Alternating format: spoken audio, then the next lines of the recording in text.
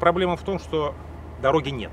И все, что мы сейчас имеем под своими ногами, сделано нашими собственными силами, жильцами этого микрорайона, жильцами микрорайона Парк Свободы. Это гравийная, э, асфальтная крошка, которую мы засыпали два года подряд. Ну, что-то здесь получилось. Но, к сожалению, мы не можем полностью это осилить по СНИПам и нормам. Это какая как улица это положено. получается? Это переход из Корсачьего проезда в улицу Свободную. То есть вот эти вот примерно там 800 метров дороги мы сделали сами с соседями, создали группу WhatsApp, народ инициативный, проактивный, и есть результат. Конечно, не идеально, но хоть что-то. А от города, разумеется, хотелось бы получить нормальное дорожное покрытие и освещение. То есть здесь в темное время суток не то, что нет столбов, а практически на весь этот по- почти километровый участок дороги, по-моему, один или два фонаря, которые, опять же, сами собственники домов установили за свой счет. А почему нельзя проехать там? А вот там нельзя проехать в силу того, что бурелом, чаще и глина, которая в первый же дождь размывается до такой степени, что джип там кое-как пройдет, КАМАЗ пройдет. Легковая машина, скорее всего, там сядет на пузо и не проедет.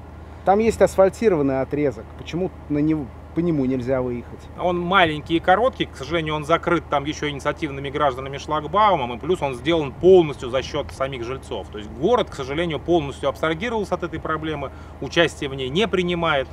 Ну, наверное, нет бюджета. Сегодня была встреча э, одного из наших жильцов, э, соседей с Исаевым. Встреча, я так понимаю, была посвящена э, возможному строительству объекта социальной инфраструктуры здесь, школы. Э, Мэру донесли информацию, что здесь как бы ну, не лучшее место в силу того, что А уклон, и Б все-таки это зона ИЖС, и в школе здесь будет просто некомфортно. И плюс общались вот по этой территории, по парку Свободы. Здесь обсуждали вопрос, связанный со строительством парка.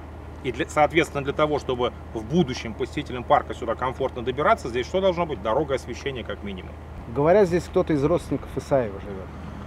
Ну, по непроверенной информации, вроде бы его брат, но опять же, это частная информация, и глубоко в нее погружаться не стоит. Но если это поможет как-то освещению этой дороги или же э, появлению нормального асфальтного покрытия здесь, мы только за. Возможно, возможно такое. Это же Россия, опять же, мы знаем, что такое личные связи здесь, как они работают. Но если это поможет посетителям парка и местным жителям, да почему бы нет, только за. Это разумная коррупция, которая, скорее всего, законом не запрещена. Вы не слышали ли о том, что этот отрезок дороги, о котором мы с вами говорим, в принципе включен в план? К сожалению, тут проблема такая, что наш город, он, может быть, не очень активно общается со своими гражданами. То есть не каждый готов ездить на встречи и так далее, но есть куча электронных ресурсов, на которые можно просто зайти и получить необходимую информацию по своему району, по плану благоустройства, я не знаю, там, по планируемым мероприятиям. Но, к сожалению, это явно э, городом не дорабатывается этот вопрос прям 100%.